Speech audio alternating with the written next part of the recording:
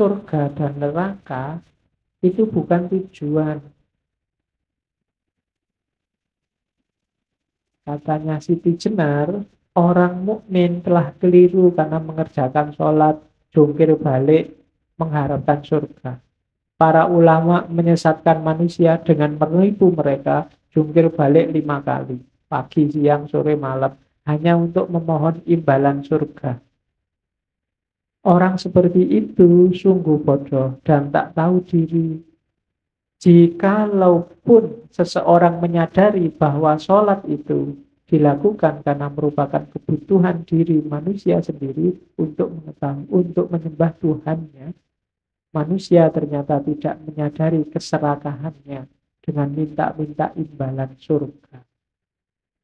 Orang-orang telah terbius oleh para ulama sehingga mereka suka berpikir dan disibukkan oleh kegiatan menghitung-hitung pahala tiap hari.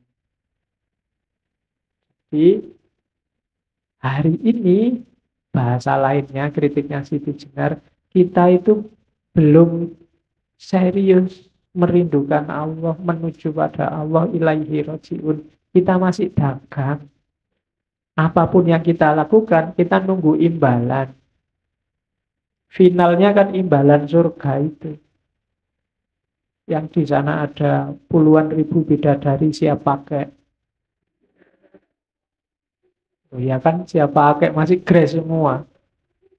Dan katanya selalu perawan. Saya tidak tahu kamu senang apa enggak kalau perawan terus-terusan. Katanya perawan itu susah. Jadi tiap hari susah kamu nanti. Perawan terus. Oke, jadi itukah yang ada di kepalamu kan gitu. Tidak apa-apa Pak, saya sengsara. Besok di surga aku mau balas dendam. Lah, pikirannya masih surga. Allahnya lagi-lagi di luar radar. Ya bahasa lain ajarannya saya Siti Jenar itu ya level-level dasar anak-anak kecil yang kalau mau sholat nanti tak kasih hadiah itu level surga neraka. Kita yang sudah dewasa keimanannya keimanannya masih masih itu. Masa masih mimpi surga dan neraka? Milih mana? Dikasih surga dan neraka tapi tanpa Allah atau misalnya begitu bisa saja. Surga neraka tapi tanpa Allah. Kalau Allah mau. Atau Allah saja nggak dikasih surga neraka juga tidak apa-apa. Atau otomatis kalau kita dekat sama Allah dikasih surga. Atau sudahlah nggak usah dipikir imbalan itu. Kita jangan dagang lagi sama Allah kurang apa Allah ngasih kita kok masih minta aja. Kita dibikin ada itu sudah luar biasa loh. Karena kita bisa tidak ada. Tapi Allah mengizinkan kita ada, itu sudah harus terima kasih luar biasa. Kita bisa menikmati macam-macam sekarang. Itu izinnya Allah. Lah kok sholat sehari cuma lima kali itu pun tidak ada tiga menit nuntut imbalan surga kayak Allah belum pernah ngasih apa-apa. Bahasanya si jenar. Surga dan neraka itu letaknya pada manusia masing-masing. Orang bergelimang harta hidupnya merasa selalu terancam oleh pesaing bisnisnya. Tidur tak nyenyak, makan tak enak, jalan pun gelisah. Itulah neraka. Sebaliknya, seorang petani di lereng gunung terpencil, hasil bercocok tanam cukup untuk makan sekeluarga menempati rumah kecil yang tenang. Tiap sore dapat duduk santai di halaman rumah sambil memandang hamparan sawah hijau. Hatinya sesejuk udaranya, tenang jiwanya, itulah surga. Kehidupan ini telah memberi manusia mana surga, mana neraka. Kalau memang nyari surga neraka, ngapain sih nunggu besok? Ayo dibikin surga kita sendiri sudah bisa, sudah cukup. Semua fasilitas yang diberikan Allah pada kita hari ini itu sudah bisa menciptakan suasana surga. Kecuali kita sendiri yang tidak bersyukur. Apa sih yang kamu kurang? Apa sih yang kecuali hasratmu tidak jelas minta macam-macam tidak bisa menikmati yang sekarang kamu miliki. Kalau sudah menikmati apa saja yang dianugerahkan Allah, saat itu juga surga lahir. Biasanya orang itu fokus pada apa yang dia belum punya. Itu yang bikin orang susah bersyukur. Tidak bisa menemukan surga. Uangnya banyak tapi tidak punya pacar. Mesti yang dipikir urusan pacar ini terus. Ada yang punya pacar tapi tidak punya duit. Yang dipikir mesti duit terus punya pacar, punya duit, tapi tesisnya nggak jadi-jadi. Mikirin tesis terus. Kapan syukur? Gitu ya tesisnya digarap, ya nyari pacar, ya nyari uang. Tapi ndak usah sampai segitunya. Ndak usah lebay, bosnya anak hari ini loh. Sangat banyak nikmatnya Allah yang kita dapatkan. Itu syukuri dulu surga. Cukup segelas kopi nongkrong depan kos-kosan sambil sarungan. Yo, kalau bisa menikmati kan inilah surgaku. Tidak masalah. Ya. Oke. Tidak apa-apa tuh. Itu surga. Gak usah nunggu lama-lama besok di akhirat. Kamu tidak mesti masuk surga masalahnya. Nikmati sekarang aja. Oke. Terus, sholat menurut saya Siti Jenar punya tiga dimensi. Sholat syariat, sholat torekot, dan sholat hakikat. Dengan istilahnya sendiri. Sholat syariat itu yang sembah raga tadi. Iyalah, wong yo kendaraannya ini. Kalau nggak ada bukti aktivitas fisiknya nanti tidak kelihatan kepatuhannya. Ya buktinya kita tunduk pada Allah itu ada sembah raga. Ya sholatlah, ya zakatlah. Jangan cuma diambil semangatnya. Pak, sholat itu kan doa, Pak. Saya sudah berdoa tiap hari, Pak. Sholat itu kan intinya ingat sama Allah, Pak. Saya ingat terus, Pak, sama Allah. Jadi saya nggak perlu sholat. Kalau kamu ingat dan percaya sama Allah, Allah nyuruh kamu sholat. Kan gitu. Saya sering menganalogikan pintu dan rumah. Kalau Allah yang ada di dalam rumah itu, terus Allah bilang, kalau ingin ketemu aku, lewatlah pintu depan itu.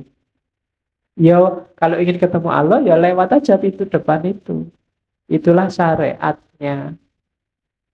Tapi kan yang penting ingat Pak, nggak harus lewat pintu depan itu, yang penting ketemu kan bisa lewat jendela misalnya. Loh, iya lewat jendela mungkin kamu bisa ketemu Allah. Tapi mungkin Allah tidak berkenan. Oh, Allah sudah bilang lewat pintu. Ya pintunya itu syariat. Itulah sembah raga. Bukan olahraga loh ya sembah raga. Tapi memang sembah raga ini kalau nanti nggak masuk ke dimensi torekot dan hakikat, hasilnya memang olahraga. Cuma aktivitas fisik. Sholat bikin kita sehat, sholat bikin kita segar. Mungkin sampai itu aja. Aliran darah mengalir ke bawah, mungkin sampai itu aja. Hanya hanya sembah raga syaratnya kesucian fisik. Ya pakai air. Wudhu, kalau yang punya atas besar ya mandi. Dan sembahraga ini manifestasi dari penghambaan, ketundukan, kepatuhan, kebersamaan, harmoni. Harmoni itu misalnya kita harmoni diri diri sendiri dan harmoni dengan orang lain itu ya kalau kita jamaah misalnya, itu kan ada fungsi harmoni bersama yang lain. Aspek syariat raganya. Ya, itulah bukti bahwa kita tunduk, bahwa kita patuh. Yo kayak kita upacara itu loh, pakai hormat terus tangannya diangkat. Itu kan Allah saya nggak ngangkat tangan juga tetap menghormati merah putih. Enggak. Ada ada bukti resminya diatur oleh negara, tangannya diangkat. Nah, bukti resmi kita bahwa kita yakin Allah adalah Tuhan yang mengatur alam semesta dan kita percaya itu yang fisik. Kalau sholat ya sembah raganya. Eh, sahadat yang tidak cuma di mulut, tapi diinternalisasi dalam diri dan pastinya diwujudkan dalam perbuatan. Ya kalau sekedar asyhadu alla ilaha illallah wa asyhadu anna Muhammad Rasulullah, syahadat paling mantep itu jatahnya tukang adat. Kalau adat kan mantap sekali syahadat. Ya, bukan itu, yaitu mulutnya memang mengucapkan syahadat. Tapi bukan cuma mulut, batinnya juga harus bersahadat. Dan anggota tubuhnya juga harus bersahadat. Jadi kesaksian bersahadat itu apa sih? Yang menunjukkan aktivitas bahwa yang menunjukkan bahwa kita percaya ada Allah. Aktivitas kita sering tidak menunjukkan bahwa kita percaya ada Allah. Misalnya putus asa, itu menunjukkan kita tidak percaya ada Allah. Misalnya menuruti hawa nafsu terus-terusan itu menunjukkan kita tidak percaya ada Allah. Melakukan kejelekan sekecil apa pun itu menunjukkan kita tidak percaya ada Allah. Mulut kita bersahadat tapi tubuh kita belum. Kesaksi dari sahadat itu kan makna letternya kesaksian. Kesaksian itu tubuh kita jadi saksi sahadat jadi tidak cuma mulutnya, aktivitas kita sehari-hari jadi saksi bahwa kita yakin Allah itu ada dan kita nomor satukan Allah. Itu namanya bersahadat. Ada cerita populer muridnya Sunan Kalijogo yang namanya Syekh Jangkung. Syekh Jangkung ini kabarnya murid yang tidak terlalu pinter orang desa satu ketika ada tes baca sahadat. Muridnya dites satu-satu oleh Sunan Kalijogo dan sukses. Fasih semua, tajwidnya luar biasa semua. Nah, yang ketar-ketir saya jangkung ini. Maunya orang Jawa.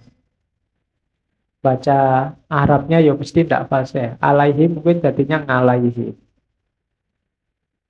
Cuma begitu jatahnya dia baca syahadat, dia tidak mengucapkan syahadat.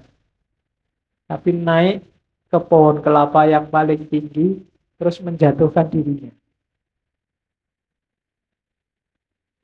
Dan tidak tewas ternyata. Ketika semua orang merubung dia, wah, kan kok gitu? Disuruh syahadat aja tidak stres, tidak bunuh diri. Ya, Jawabannya saya jagung, lo ya ini sahabatku. Menunjukkan bahwa aku yakin 100% Allah itu ada. Segalanya diatur dan ditentukan oleh Allah. Kalau belum waktunya mati, ya tidak mati. Yakin aku 100%. Dan tidak mati.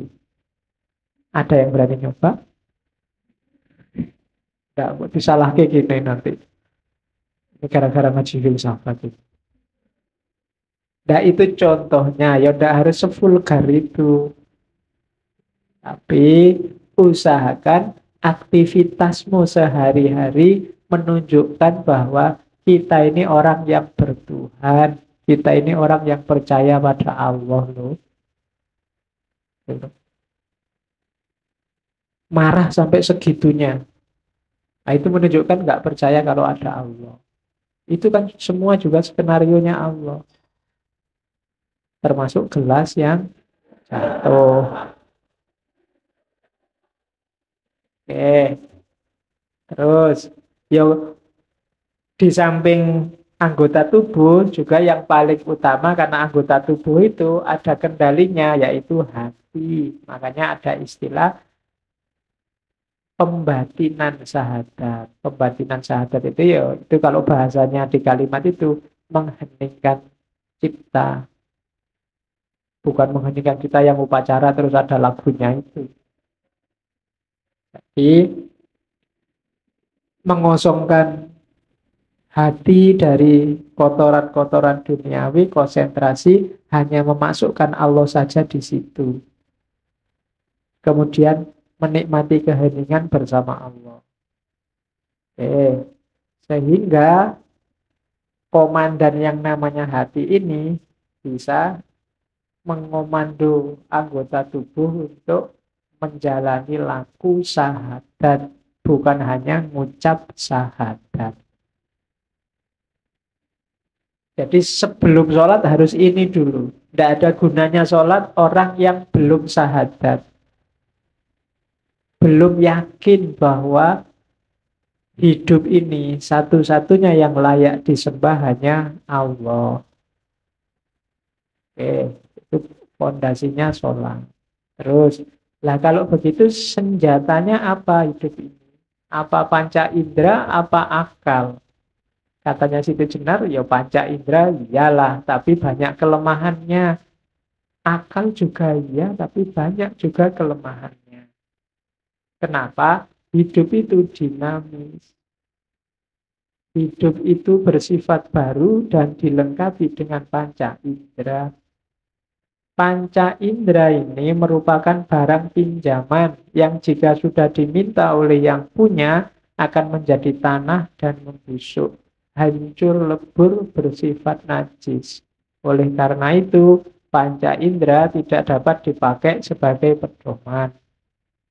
Yang kamu lihat hari ini cakep, percayalah tidak akan bertahan lama. 20, 30, 40 tahun lagi insya Allah sudah selesai cakepnya. Yang kamu lihat hari ini indah juga tidak akan tahan lama. Semuanya ada batasnya. Telinga juga begitu. Sekuat-kuatnya pendengaranmu pada titik tertentu akan berkurang fungsinya. Gigi, hidung, ya kan? Gigimu mungkin kamu masih muda, giginya masih kuat-kuat. Sebentar lagi goyang satu demi satu.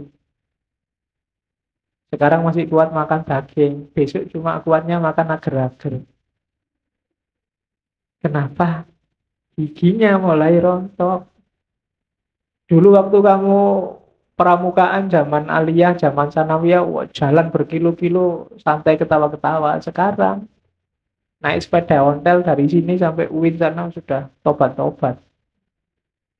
Kenapa? Ya diakui aja sudah setelah yang namanya jasmani panca indera itu semakin susut kekuatannya.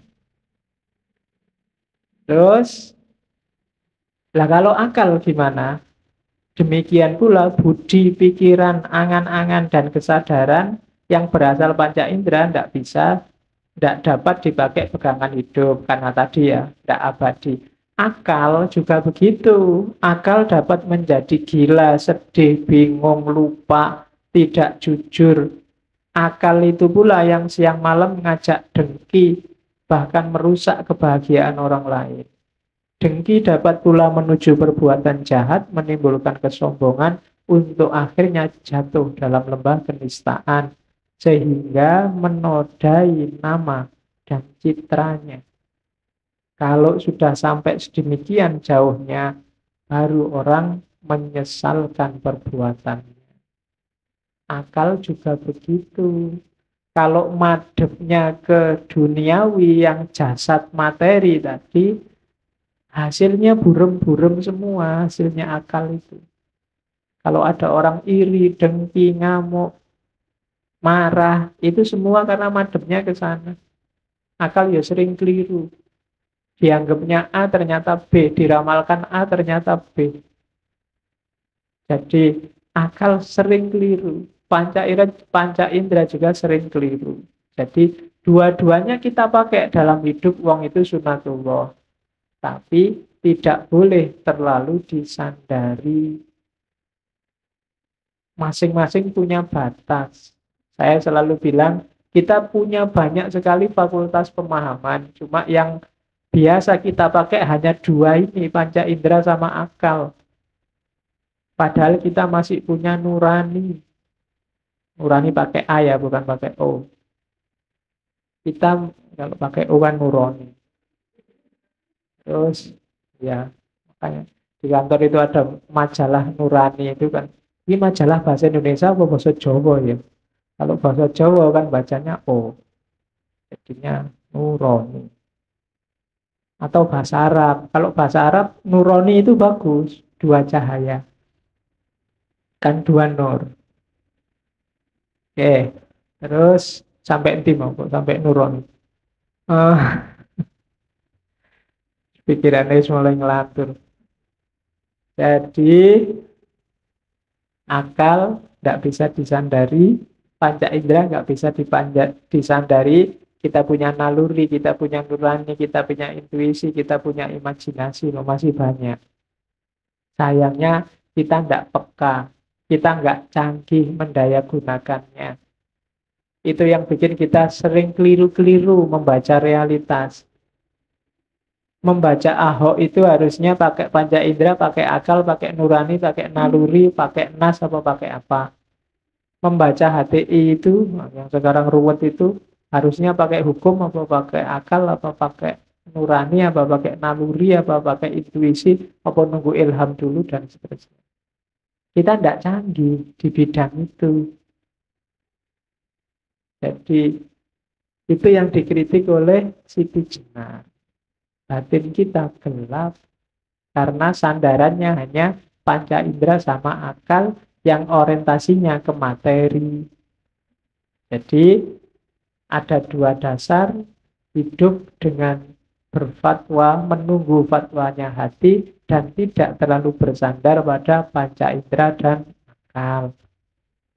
Terus itu kalimatnya Siti Jenar sholat lima kali sehari puji dan zikir itu adalah kebijaksanaan dalam hati menurut kehendak pribadi benar atau salah pribadi sendiri yang akan menerima dengan segala keberanian yang dimiliki jadi sholat itu kan sembah raga tadi itu kan semacam tata krama sopan santun yang diwajibkan oleh Allah pada kita. Dan dia beragam. Keragaman itu maksudnya setiap pribadi, yo, setiap ulama, mungkin begitu, menafsirkan gaya sholat, cara sholat yang tidak seragam. Secara umum sih sama, tapi kan bagian-bagian tertentu ada yang beda loh. Itu keragaman. Syariat itu ternyata macam-macam kalau syariat. Ada yang takbiratul ikhram pakai sendakep, ada yang tidak pakai sendakep. Ada yang saya dulu pernah di Iran itu yang imami orang Syiah di masjid besar. Terus kalau di sana jahar, misalnya sholat isya, ya jahar, imamnya jahar. Cuma waktu waladolin amin, aminnya tidak jahil. Jadi orang pelan-pelan bilang amin. Kalau saya dari Indonesia kan ya terbiasa jahil terus. Jadi waktu waladolin, saya teriak sendirian amin. Orang sana sama podo ngelirik. Iya, Indonesia mesti itu. Kayaknya kelihatan.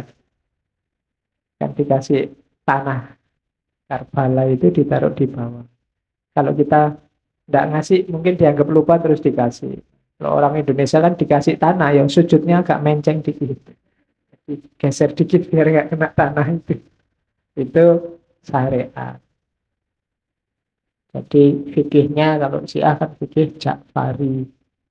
Kalau kita pakai Syafi'i. Ada yang takbiratul. Wong sama-sama takbiratul ihram sedang aja yang di atas perut, ada yang di dada, kayak orang kena tembak, ada yang gini loh. Saya lihat ada yang Allah sakit sekali dadanya.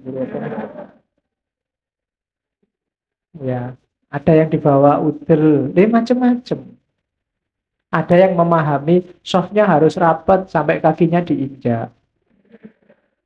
Saya sering begitu. Kaki diinjak kita minggir, dikejar lagi, minggir lagi, dikejar lagi. Ayo. Iya. Kamu sholat kok jadi perlombaan nginjek kaki. Jadi kan itu syariat macem-macem. Tidak usah kaget, memang modenya beragam. Tidak apa-apa. Setiap orang sholat sesuai kemantepannya masing-masing. Itu tadi makanya keyakinan hatinya masing-masing.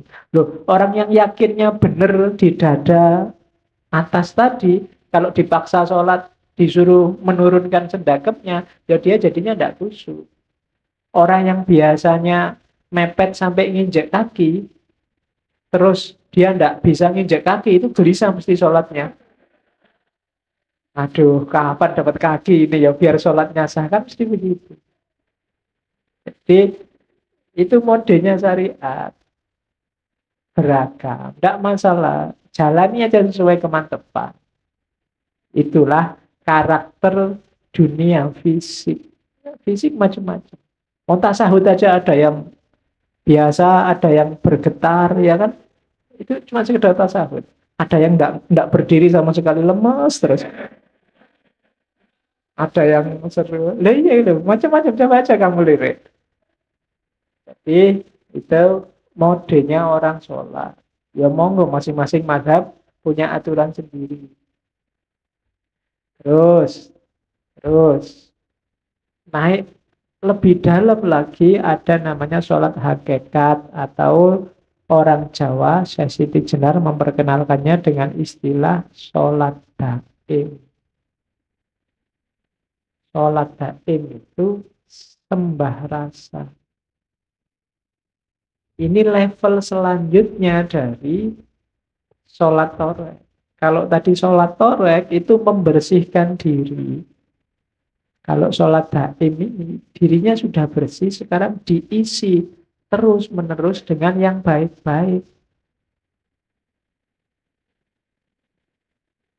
Cara bersucinya dengan suhud. Suhud itu berarti tidak terlalu memasukkan variabel dunia dalam hidup. Jadi orang yang masuk ke level sholat daim itu kusuknya nggak cuma di sholat, tapi dalam hidup sehari-hari. Itu ada penjelasan. Orang Jawa menyebut apa? Kusuk itu sinonim dengan kata-kata lerem. Lerem itu sudah mengendap, sudah tenang, sudah sudah mantap, tidak bisa goncang-goncang lagi sudah stabil. Jadi orang yang sholat daim itu berarti orang yang tiap detik kehidupannya itu kekhusyukan. Bukan kok sholat terus menerus. Bukan tidak syariat terus batinnya sholat terus. Enggak.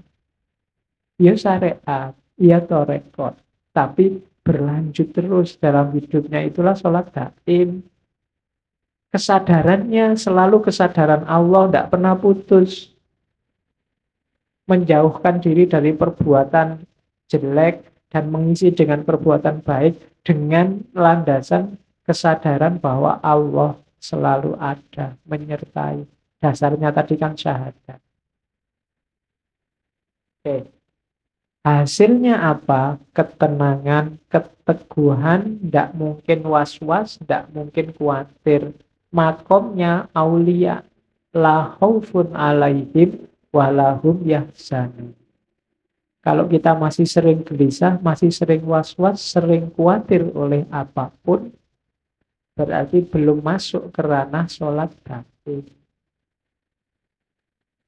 Orang yang masuk ke makom sholat daim ini, D itu D, detik per detik, hidupnya selalu bareng Allah. Namanya sembah rasa sembah rasa. Jadi rasa hidupnya cita rasa hidupnya itu sudah cita rasa Allah. Itu namanya sholat daim.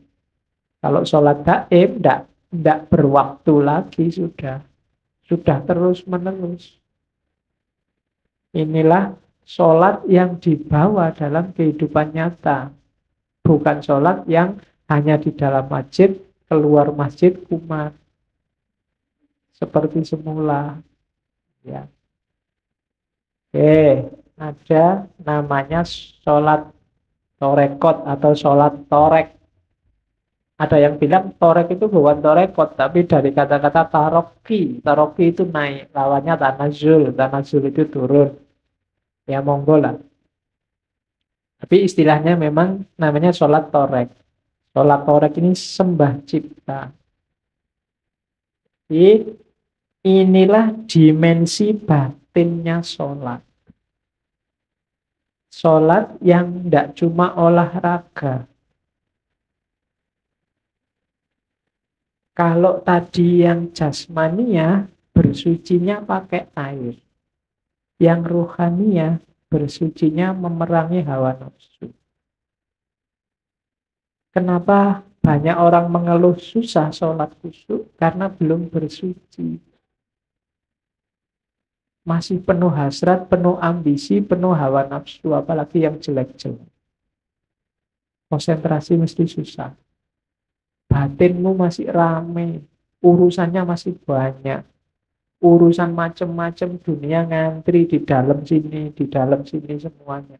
Susah sholat khusyuk lagi enak-enak sholat ini muncul semua satu demi satu. Saya pingin kusuk, saya pingin kusuk. Nggak pingin inget-inget ini, nggak pingin inget-inget ini. Ya, ketika nggak pingin itu muncul satu-satu. Jadi belum bersuci, sucikan dulu buang semua yang duniawi apalagi yang sifatnya hawa nafsu. Saya lupa mendengar apa membaca di mana. Itulah antara lain makna gerakan takbiratul ikram yang mengangkat dua tangan sejajar pundak atau sejajar telinga. Itu semacam isyarat semua yang di luar hubungannya sama Allah minggir. Minggirlah Begitu katanya. Itu simboliknya, tapi yang jelas perangi dulu hawa nafsu. Kalau batinmu masih rame, akalmu masih rame dengan hasrat, ambisi, nafsu, mbok kamu punya sertifikat sholat kusuk lima, susah kamu kan ada pelatihan sholat kusuk itu. Iya, sholat khusus sekarang jadi pelatihan. Jadi ya susah kusuk. Kenapa? Ada syarat bersucinya. Sebagaimana yang raga ada syarat bersucinya. Yang membantu sholat kusuk adalah kalau kita paham yang kita baca dan kemudian kita jalankan dalam hidup yang sebenarnya apa yang kita baca itu pasti khusyuk. Kalau dalam iftitah misalnya kita membaca Inna sholati wa nusuki wa mahyaya wa mamati lillahi robbil alamin. Sesungguhnya sholatku, ibadahku, hidup dan matiku hanya untuk Allah. Kalau ingin kusuk beneran, hidupmu kayak gitu beneran. Kalau kamu baca Fatihah Bismillah Alhamdulillahirabbil alamin. Segala puji hanya bagi Allah yang layak dipuji hanya Allah. Kita ini lemah, tidak ada kebaikannya apa pun tanpa bantuan Allah, maka alhamdulillahirabbil alamin. Iya karena butuh wa iya karena stain. Aku tidak butuh siapa pun dan tidak akan nyembah siapa pun kecuali hanya Allah saja dan benar dalam hidup kita kita jalani itu. Dan seterusnya semua bacaan-bacaannya doa-doanya kita hayati dan hidup dalam keseharian kita itulah sholat torek. Dari situ lahir kekusyukan tidak cuma kekusuan dalam sholat, tapi juga kekusuan dalam hidup kita. Itulah yang oleh Al-Quran disebut tanha anil fahsya wal munkar. Kenapa banyak orang sholat masih tetap korupsi? Banyak orang jahat masih tetap korupsi. Cowok cewek pacaran nginep berdua di hotel dan jamaah dulu sebelum tidur bareng Loh kok kamu ketawa jangan-jangan pernah.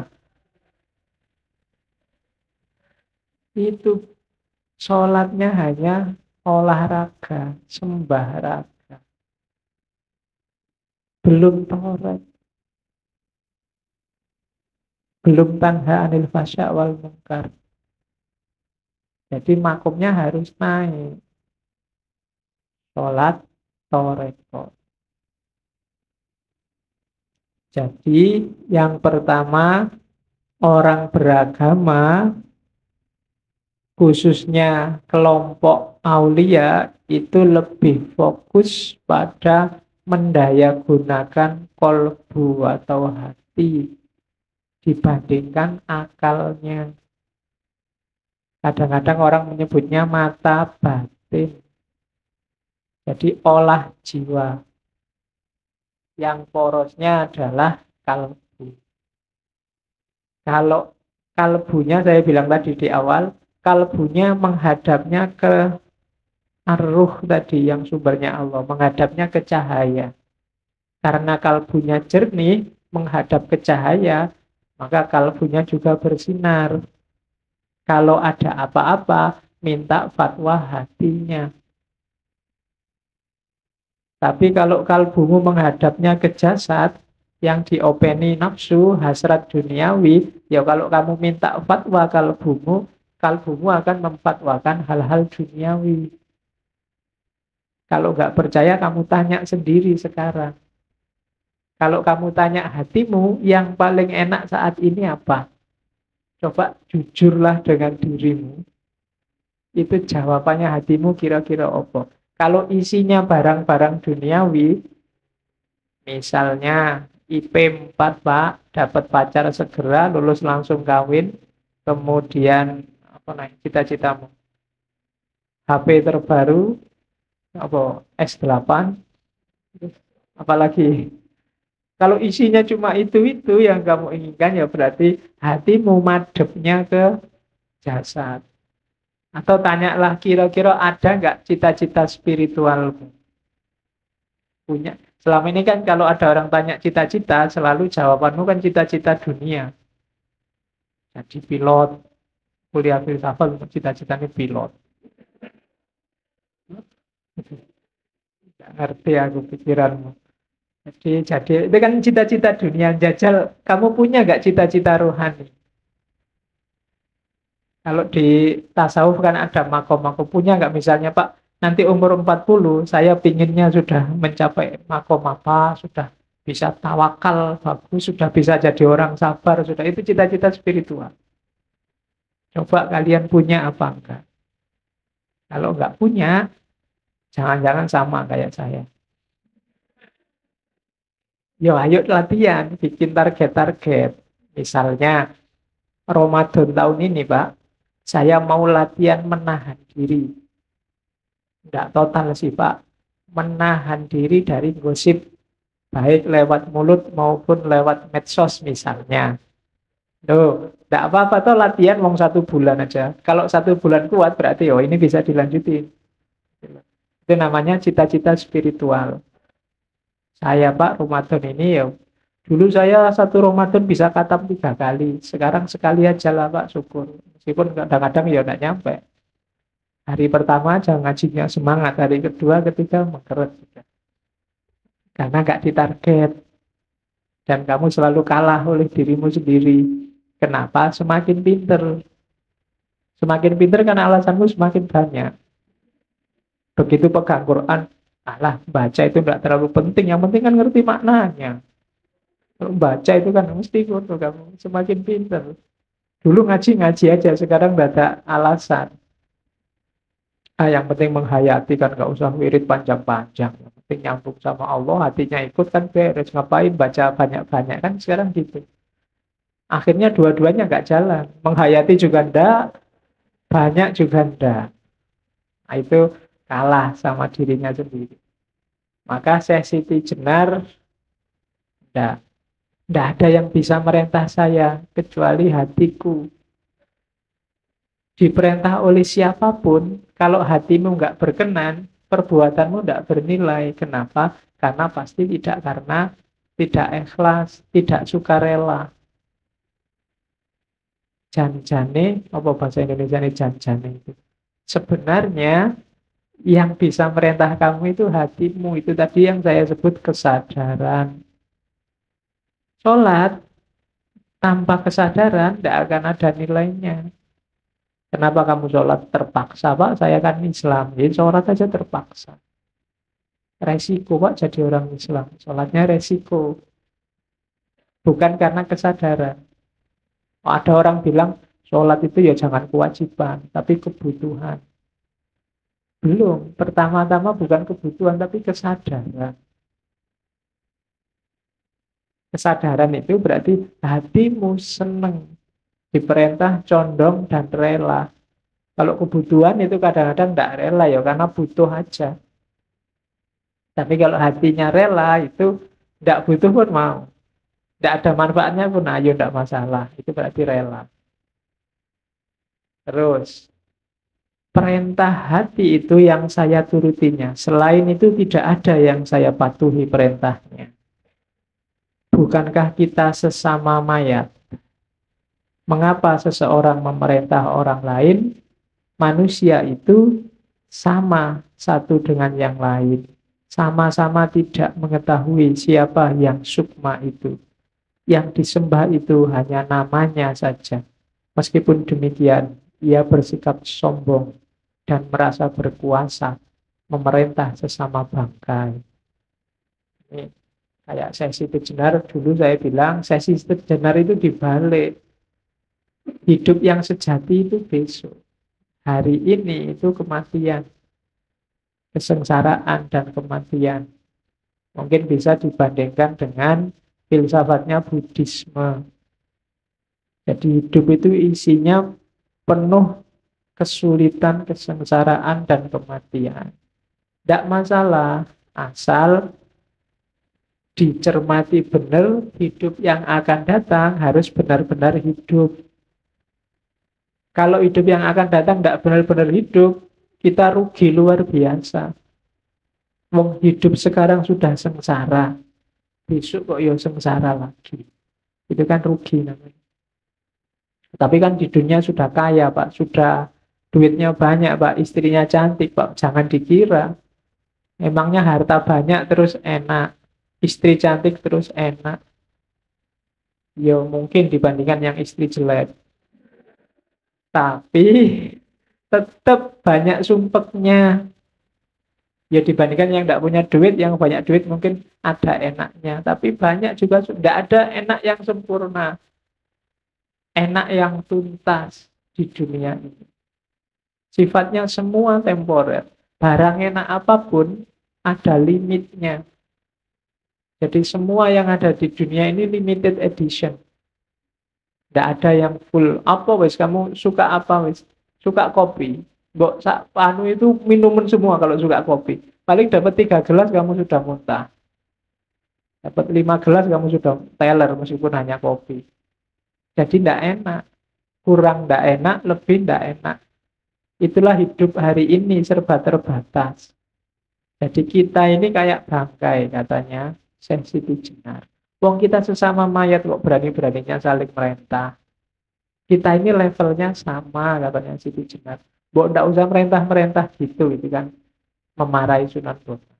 Bok kita kerja sama saja, saling belajar. Wong kita itu ngaku nyembah-nyembah Tuhan, bela-bela Tuhan, mengagungkan Tuhan, Tuhannya sendiri kita tidak kenal itu cuma perkiraan-perkiraan. Kita ngertinya cuma namanya saja. Kita nggak tahu hakikatnya apa. Itu pun sudah sombong. Mulut kita bilang Allahu Akbar, tapi yo kelihatan nggak ngerti maknanya Allahu Akbar itu apa. Karena ada yang Allahu Akbar sambil mentung, sambil mendelik, sambil Lu kan banyak hari ini begitu. Begitu ada orang Allah Akbar, kamu kan kaget luar biasa, mungkin takut malahan. Jangan-jangan ada apa ini? Gitu.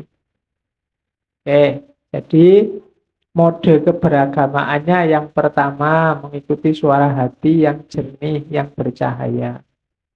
Yang kedua, menyadari kerendahan diri. Kita itu bangkai, maka tidak usah sombong. Pengetahuan kita juga apa sih, wong kita itu sangat terbatas Dan makanya kita harus egaliter, tidak saling menindas, tidak saling merentah. Itu dari serat Siti Jenar.